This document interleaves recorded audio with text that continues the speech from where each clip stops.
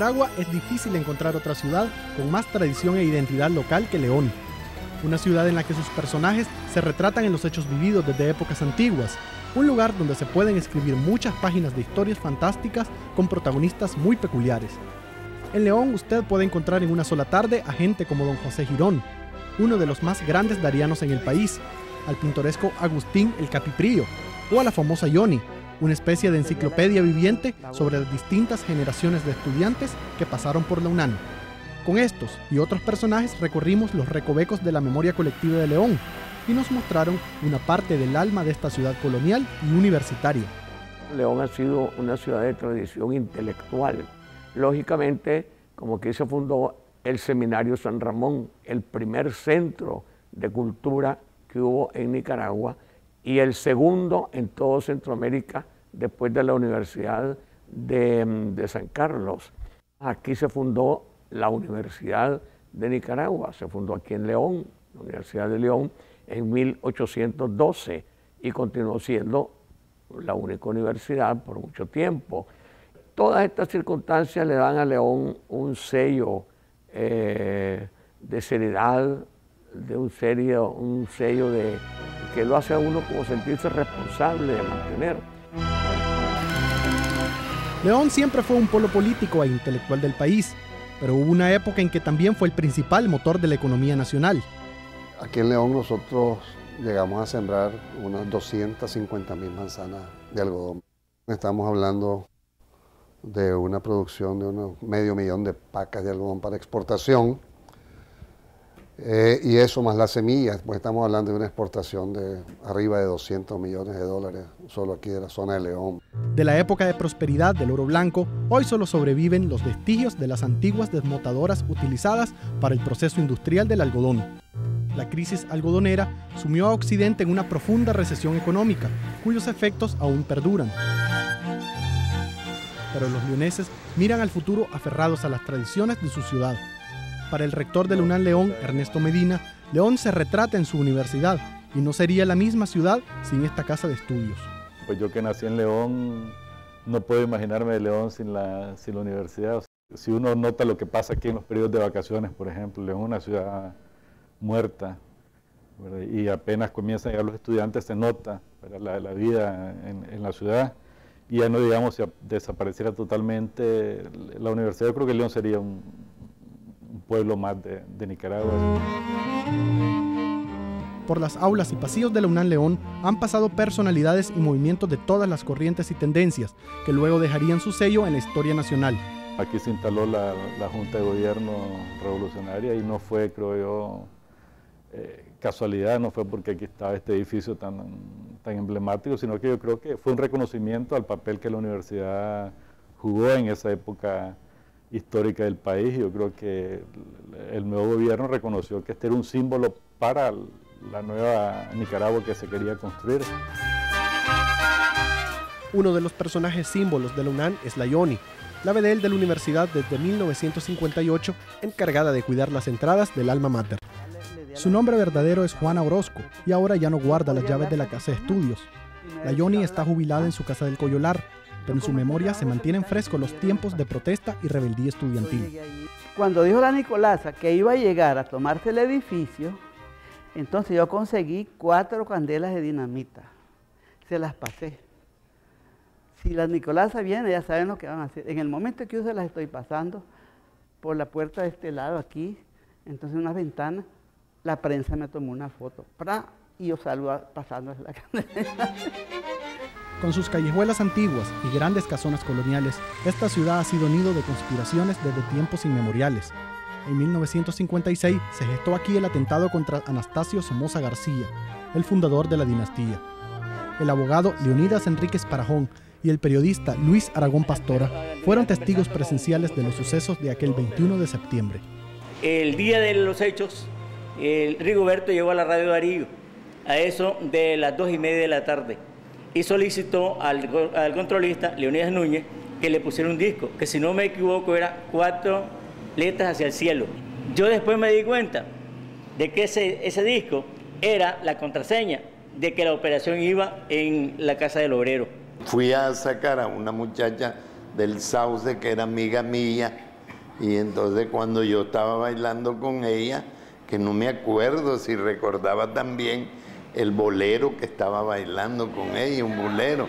Y cuando sonaron los el primer disparo o los primeros disparos, y un, miré que un hombre alto eh, estaba tirando así contra Somoza. ¿Eh? ¿Qué pasó luego?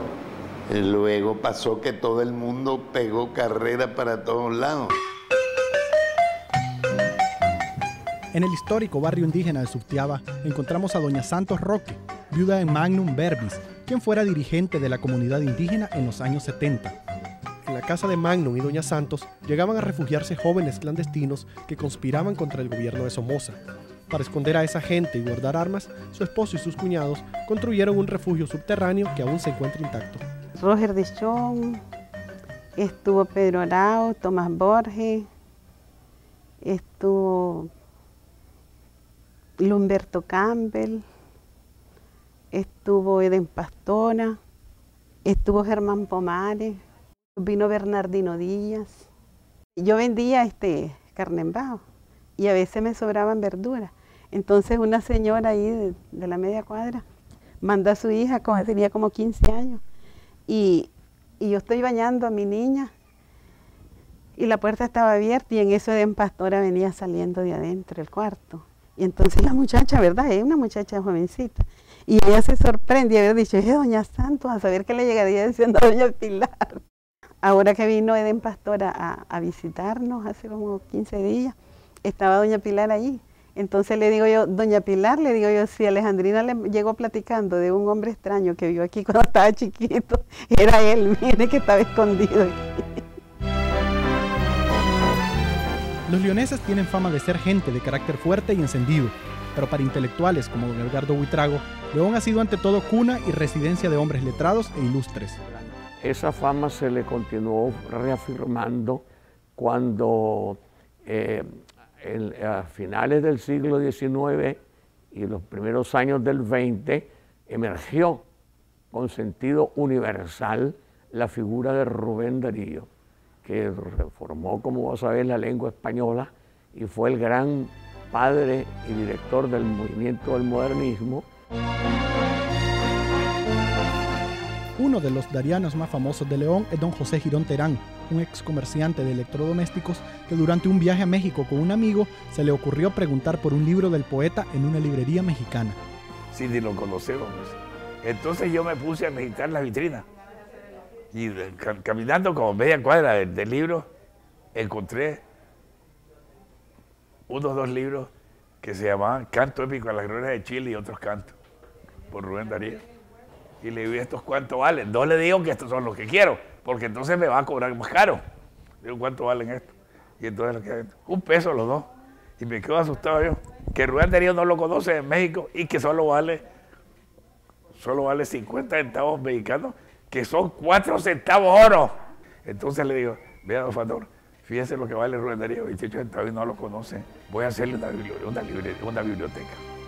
Y fue así como don José Girón comenzó con los primeros ejemplares de lo que sería la biblioteca de Ariana más grande del país, que llegó a contar con más de 10.000 libros. Y en 66 dijeron ellos que había que hacer una bibliografía de Rubén Darío porque no había. Y entonces dijeron, ah, debo ser el encargado de Girón Tal vez sale con unas 200. Dicen que dijo que tal vez salía con unas 200 fichas. ¿Cuánto salieron? Ve, le salimos 1400 y pico de fichas. Uno de los imprescindibles es Eduardo Agustín Prío, dueño de la Casa Prío, sorbetería fundada por su padre en 1898. El Capiprío asegura que le estrechó la mano a nueve presidentes de Nicaragua. Él mismo se ha convertido en personaje de algunas novelas que narran sucesos ocurridos en León. Siempre los libros llevan, llevan cantidades de la mentira leve que se llama suave, que decir que no hace daño. El Capi conoció de cerca a Oliverio Castañeda, el estudiante de Derecho de origen guatemalteco, acusado de haber asesinado a toda una familia de abolengo de León de los años 30. Él llegaba a la casa primo, era, era casi cliente sido de todos los días y era un hombre pues, que se vestía impecablemente, se cuidaba de su vestuario. En ese tiempo los profesionales usaban sombrero, bastón, todo eso, todo el que era profesional era y su cartel, su cartapase. Entonces yo me fijaba que él en unas cubiertitas que andaba metía propina y se levantaba y lo vi, lo oí que a la muchacha de la cajera le decía señorita para que se ayude. No andaba él eh, con enamoramiento en ninguna clase, más bien las mujeres se le, eran admiradoras de él. A 20 kilómetros del sofocante calor leonés, en el balneario de Poneloya, tiene su restaurante Julio Salinas. Famoso por sus cócteles de conchas, el restaurante del pariente Salinas fue fundado por su padre en 1940. Por aquí ha pasado media Nicaragua y muchas personalidades internacionales, pero don Julio recuerda especialmente al escritor argentino Julio Cortázar, que a principios de la década de los 80 visitó en varias ocasiones su local. Julio Cortázar es personaje que no es así nomás que se olvida uno, porque tenía una dialecta, una forma de hablar que te le da sabor a la conversación.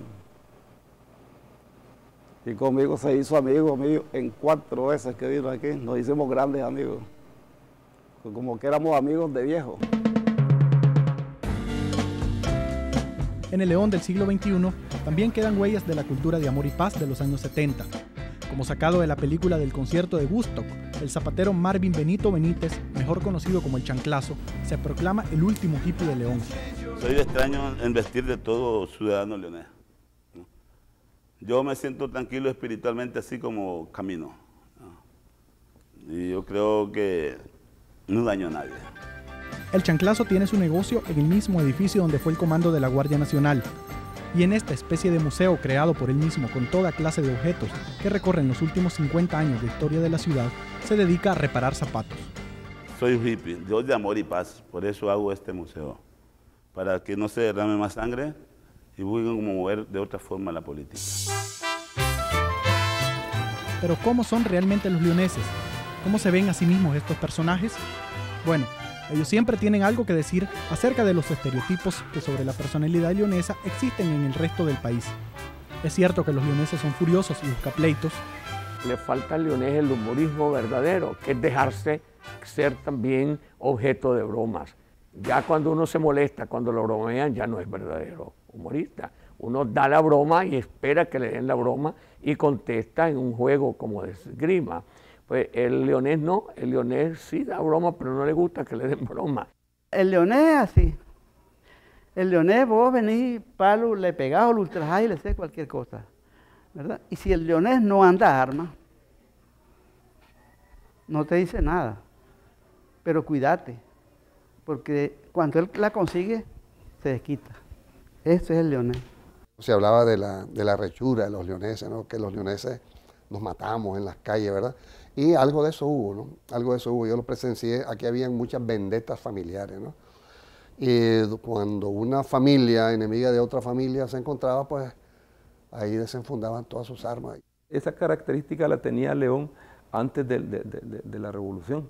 Digamos, el asunto de, que lo matoneaban a uno y, las vendetas entre familias, pues efectivamente sí existió, pero eso ya no existe, pues yo creo que eso después del 79 se corrigió, pues mucha gente se integró a la revolución, otros se fueron. Muy humanitario, sabe ser amigo. Y si tenés un problema y vos consultás con el amigo, si estás al alcance te ayuda. ¿Y qué hay de cierto de esa fama de pinches y agarrados que tienen los leoneses?